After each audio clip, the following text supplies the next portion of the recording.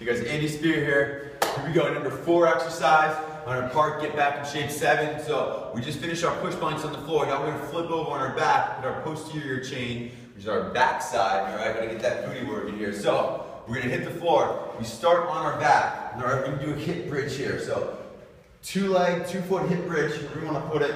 Uh, we're gonna start here, knees bent, feet flat on the floor, all right?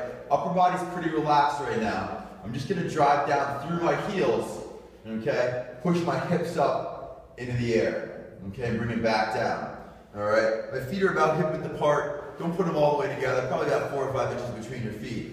And the key here is as I'm pushing down, I'm thinking about squeezing my glutes, all right? Squeezing my butt when I get up to the top there. And I'm coming right back down.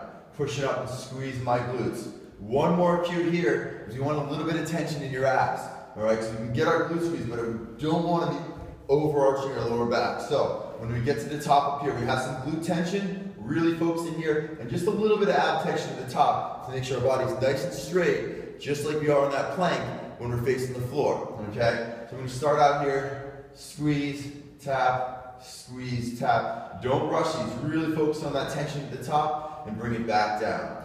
Okay, so we're gonna start out with three sets of 10 and work your way up so you can go three sets of 20 on those hip bridges on the floor. All right, we're gonna come back with number five in just a second.